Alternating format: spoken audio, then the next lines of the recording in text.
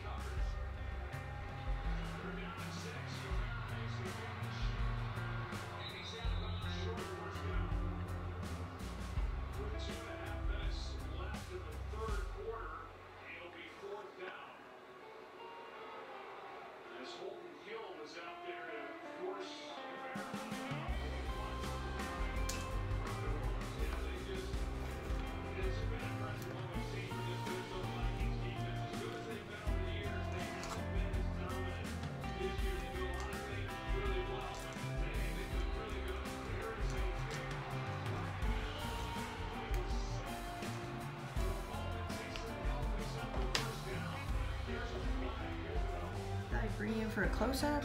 These are the materials that I used.